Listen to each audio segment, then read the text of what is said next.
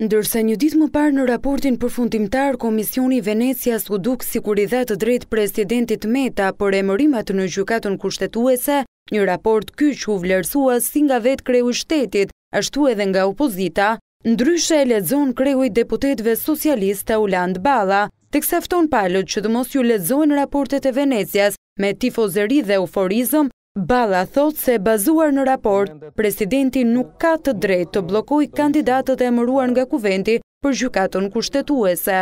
Edhe pse Kuvendi është autoritet që zgjedh me votë kolegjiale, por më shumë se kaq qoftë edhe presidenti i Republikës nuk mund të ketë më të drejtë që pasi ka skaduar afati tridhjetë ditor të mos ia ofrojë betimin një anëtari të zgjedhur në rrugë institucionale dhe ligjore. Balla e lexon ndryshe edhe opinionin e Venecias për paketën antishpifje. Ai thotë se rekomandimet e një dite më parë i hapin rrugën miratimit të antishpifjes në parlament, por, për miratimin e këtij ligji, Balla i bën ftesë publike edhe opozitës parlamentare. Opinioni përfundimtar i Venecias, i miratuar dje, jo vetëm që nuk e ka hedhur poshtë ligjin si jo,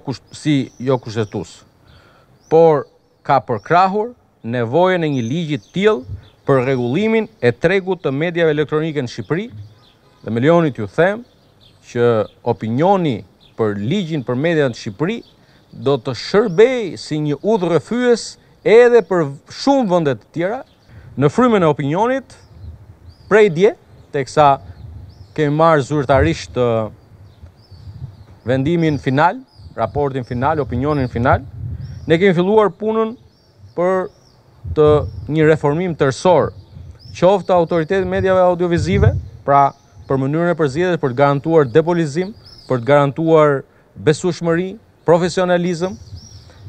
por edhe të një institucioni tjetër, sikurse është Këshilli Drejtues i Radio Televizionit Shqiptar. Edhe për Ballën njëjtë si për socialistët e tjerë, opinioni i Venecias për paketën antishpifje rrëzon edhe një nga kushtet e pretenduara nga opozita për integrimin e vendit. Ndonëse nuk e konsideron qëllim në vetvete shkarkimin e presidentit, për Taulant Ballën mëkati i kreut të shtetit vijon të mbetet mosdekretimi i tridhjetë qershorit, vijimin e punës së Komisionit Hetimor e justifikon me nevojën për të finalizuar funksionimin e Gjykatës Kushtetuese. Prandaj, sugjerimi im është që komisioni të vazhdojë, komisioni hetimor të vazhdojë punën, me sa di afati i tyre skadon në 30 korrik dhe për sa i përket shkarkimit të presidentit, Unë besoj që mëkati i presidentit lidhur me ligjshmërinë dhe kushtetutën në këtë vend është i qartë si drita e diellit e lidhet pikërisht me